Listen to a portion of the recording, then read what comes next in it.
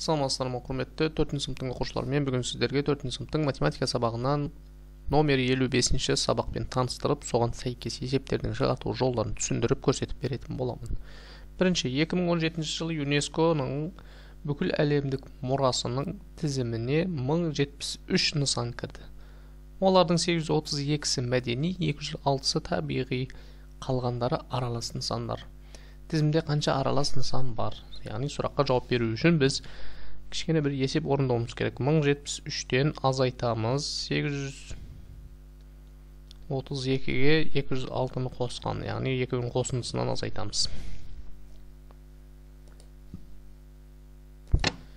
яғни бұл 35 деген сөз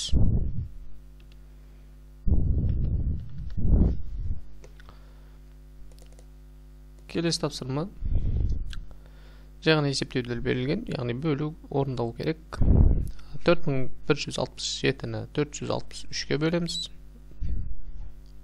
Айтылған бойынша орналастырып шықтық. Жауаптары яғни 99966 997 95 32 56 98 39 деген жауаптар шықты. Яғни осындай есептеп баған түрінде есептеп тексеріп шықсаңдар болады осы жауаптармен. Келесі теңдеулер берілген жай ғана теңдеу теңдеуді орындауды білеміз. Бұл жерде бірінші мына бөлуді орындап аламыз. Бөлуді орындау үшін 3570-ті бөлеміз 70-ге 51 деген жауап шығады бұл жерден д-ны табу үшін д тең 524-ті көбейтеміз 51-ге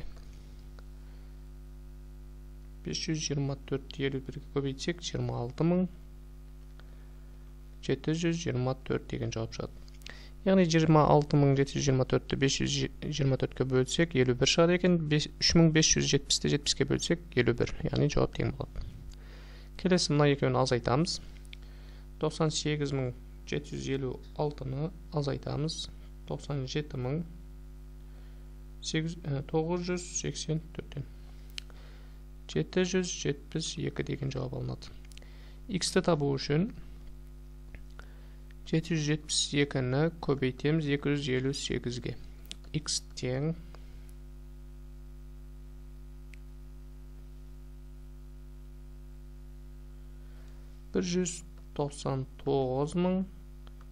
жетпіс алты деген жауап алынады. Яғни жауап осындай. Келесі тапсырма. Мектеп асханасына күріш әкелінді алты күн бойы күніне төрт килограмм бес жүз граммнан күріш жұмсалды егер асханада отыз екі килограмм күріш қалған болса асханаға қанша килограмм күріш әкелінген деп сұрап тұр алты күн бойы яғни айтылғаны бойынша орындап шығатын болсақ алтыны көбейтеміз бірінші бізге килограмммен берілген яғни біз граммға айналдырып аламыз төрт килограмм дегеніміз төрт мың оған бес жүз қосамыз төрт мың бес жүз болады алты күнде қанша грамм күріш жейілген соны біліп алуымыз керек. Төрт мың бес жүзді алтыға көбейтсек жиырма жеті мың шығады. Жиырма жеті мыңды мыңға бөлеміз сонда килограмммен шығады. Сонда жиырма жеті килограмм. Отыз екіге жиырма жетіні қосамыз. Отыз екі қосылған жиырма жеті. Елу тоғыз килограмм. Демек елу тоғыз килограмм күріш әкелінген екен. Келесі біреу. Он жеті қалта ұнның массасы 34 килограмм. Ал 25 қалта күріштің массасы 75 килограмм. Күріш салынған қалта ұн салынған қалтадан қанша килограммға ауыр деп сұрап тұр. Ол үшін 34-ті 17-ге бөлеміз. 2 килограмм шығады. Демек бір қалта 2 килограмм екен. 75 екен. 25 қалта 75-ті бөлеміз 25-ге 3 килограмм. Яғни біреу 3 килограмм біреу 2 килограмм. Сонда 1 килограммға ауыр екен. Қаншаға ауыр? 1 килограммға. Келесі тапсырма. Асханада орам жапырақ салынған 85 бәліш пісірілді. Бұл күріш салынған бәлішке қарағанда екі есе аз. Орам жапырақ салынған бәлішке қарағанда күріш салынған бәліштің нешеуі артық пісірілді деп сұрап тұр. Асханада орам жапырақ салынған 85 бәліш пісірілді. Бұл күріш салынған бәлішке қарағанда екі есе аз. Бәлішке қарағанда күріш салынған бәліш нешеу артық пісірілді? 85-ті көбейтеміз екіге тең 170 шығады. 170-тен азайтамыз 85-ті тең 85 қаншаға артық екен? 85-ке артық пісіріліпті. 85 артық бәрі пісірілген екен күріштен. Егер төртбұрыш пішінді үстелдің ауданы 126 дециметр квадрат ал ұзындығы 14 дециметр болса ені қанша болады? Яғни ені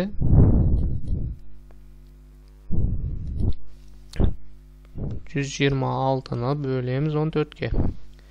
жүз жиырма алтыны он төртке бөлсек тоғыз шығады екен.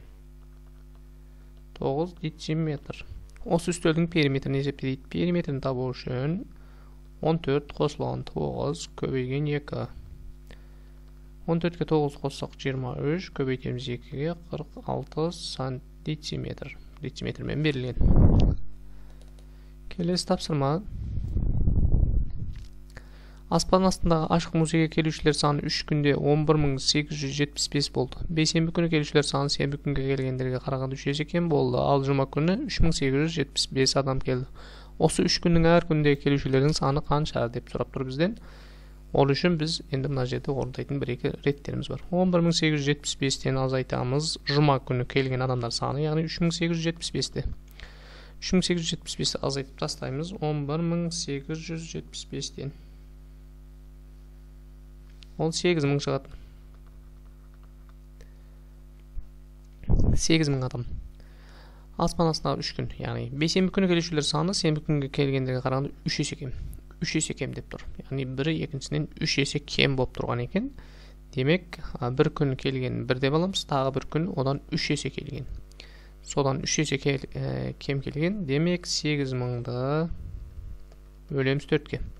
Себебі бір күн яғни келген үш есе аз келген күнгіні біз бір деп қарастырсақ ана біреу үш есе көп келіп тұр екеуін қоссақ төрт бөлік болып тұр ғой енді бір бөлігі қаншаға тең екенін біліп алуымыз керек екі мыңға тең енді үш есе артық келген қайсы біреу бейсенбі күні келушілер саны сенбі күнге келгендерге қарағанда үш есе кем бейсенбі күні үш есе кем болды ол екі мың бейсенбі дегеніміз қан бейсенбі бейсенбі күні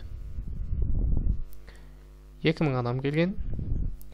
Сенбі күні одан үш есе көп келген енді. Мына айтылғаны бойынша яғни бейсенбі үш есе сенбіге қарағанда үш есе кем келсе ә, сенбі күні бейсенбіге қарағанда үш есе артық келді деген сөз. Демек екі мыңды көбейтеміз үшке. Алты мың. Демек сенбі күні алты мың. Сенбі бейсенбі.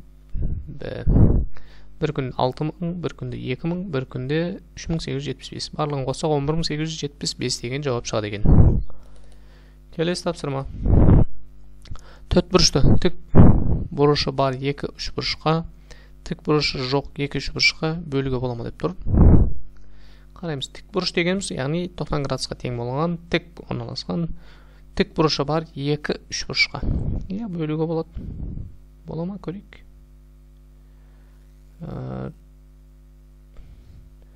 міне біріншісі былай бұрсақ бөлсек болады мына жер яғни тікбұрышты бір үшбұрыш болды мына жағында тікбұрышты бір үшбұрыш ретінде қарастырсақ болады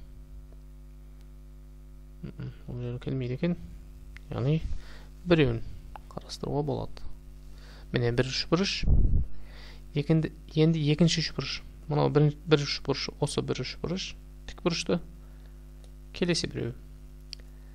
Дәл осындай яғни тағы біреуін қарастыруға бола ма деп сұрап тұр. Тік бұрышы бар екі үш бұрышқа.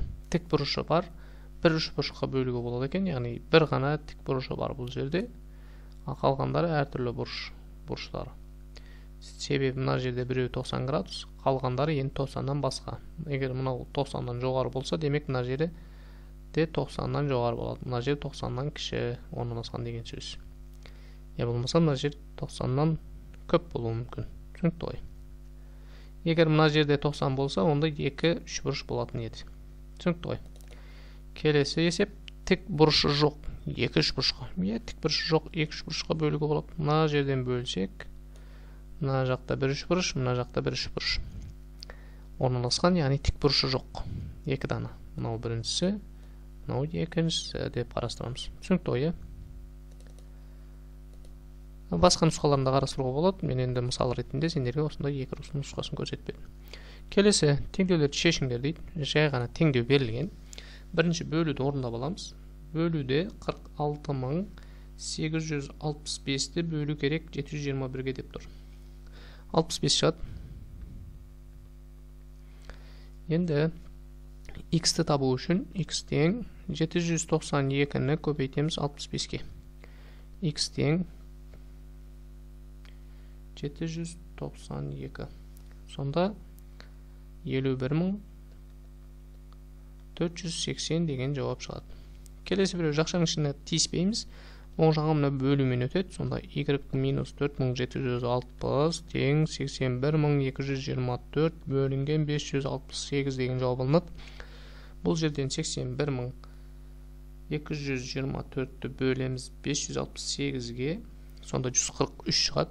Сонда y тең 143 қосылған 4760 болады. 143-ке 4760 қосамыз. Сонда y тең 4903 деген жауап алынады. Түсінікті ғой иә?